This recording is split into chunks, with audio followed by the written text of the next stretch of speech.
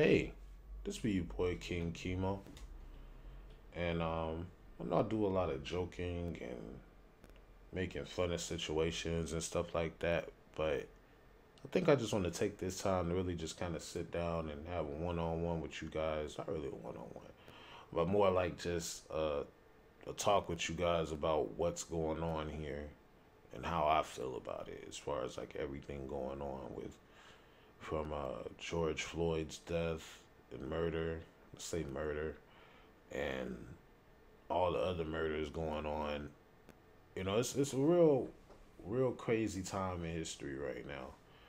And, you know, of course the actions that we're seeing coming from few as far as like the cops with this police brutality thing is definitely, you know, kind of getting a little overwhelming watching the news and stuff like that. And you see all so much of it every year, it's just you become numb to it. Um so, you know, that's a little bit on my my perception as a black person to this whole situation.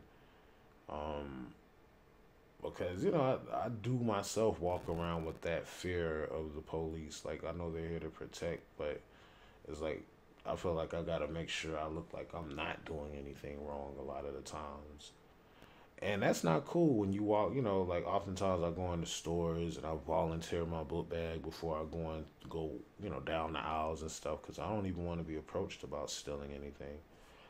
And it's crazy when you live in a world to where shit like that can happen you know? And you know i know it's a it's a lot of people out there that don't really understand that reality and you know just becoming privy to it. And i just want to say you know it's good that you guys are just you know really looking into this and trying to dig into it those of you who are trying to gain an understanding. So you know of course there's still lynchings going on in 2020 that shit's sad. And you know, it just makes me it makes me feel real bad. But what I can say is this is the first time I ever seen such a big, huge public reaction all across the world to this injustice. And it really puts me in a situation where I feel very hopeful for the future. I mean, I feel so hopeful because things like Aunt Jemima, one of the most long-standing racist things, you know, and that was a part of a lot of our breakfasts growing up as kids. You know what I mean? And you know, this whole time we've been like eating like a, a racial stereotype brand.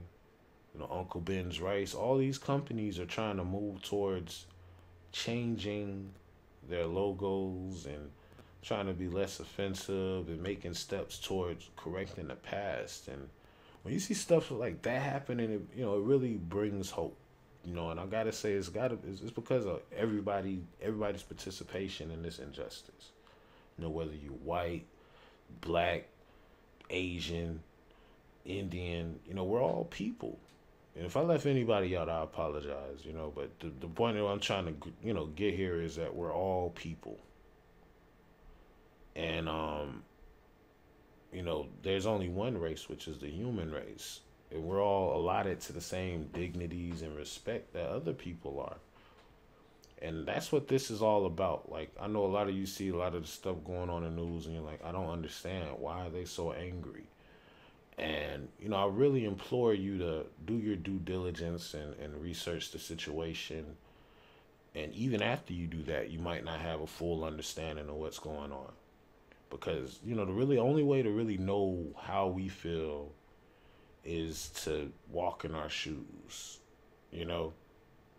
And that's not possible. But i do want to say i appreciate you guys for really just just showing out and showing up big on behalf of us especially if you know you don't have a dog in the fight so you know that's something that I noticed. I'm sure a lot of my people notice that, and it's much appreciated. You know what I mean? Um, so I think moving forward, there may be some change happening. You know, and, and the thing about change is, no matter how big or little it is, you got to take it when it comes. You know, like if it if it comes, just accept it. Just take the change, move on.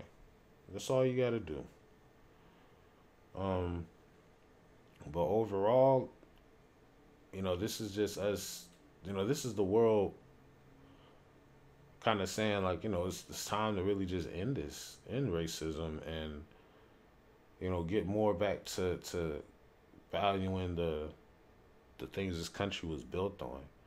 Cause you know, I mean, don't get it wrong. I, I love America. This is this is where I've been my whole life. I don't know no other home, but I have just as much entitlement to this land as you do. And I'm talking to the white supremacists out there, or anybody pushing this uh this racial divide going on. Anybody who believes in that, I have just as much right to this land as you do. You know what I mean? I I, I put my feet down on the ground every day like you do. I go to work every day. You know, some individuals of my race that don't go to work every day. Some individuals of your race that don't go to work every day.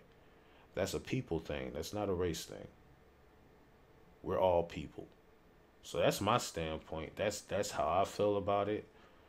Um, of course, some some groups are more disproportionately counted than others, but you know, I'm all about togetherness, man. That's what that's what it's all about. Like that's my fine, you know, that's how I feel about it. And I feel like we really are moving towards a sense of unity here in the world a little bit more. And it's just a it's a sad time, but it's also an exciting time when you think about the change that might be coming forth. So I just wanted to tell you guys that, you know, just share my aspects and my ideas on how this is all shaping out and what we, you know, how we should view things or whatever. And uh, you know, anybody out there that's that's uh, you know, I mean, I I just offer condolences to the families because, you know, as we get upset about it because it's happening to us as a people, you know, these these are people's brothers, sisters. You know, just from that aspect, if you just view it from that aspect, you should be able to develop some type of compassion of some sort. So, um, I just want to thank you guys for listening. I know this is a little bit not so much my usual vibe and stuff like that, but I just gotta get this off my chest, man, and I couldn't let this time in history go by without making a statement on it. So thank you for hearing me out. Uh, feel free to like and subscribe. You know, everybody, like and subscribe. You're welcome to join this channel. This is an all-inclusive channel of any walk of life. You know, we're all people, and we all got to live on this planet and do it peacefully, you know what I mean? And, and, and things could be so lovely. So I look forward to that change. I hope you guys are working towards that change in your own way every day. And um, yeah, you know, thanks for looking out, guys.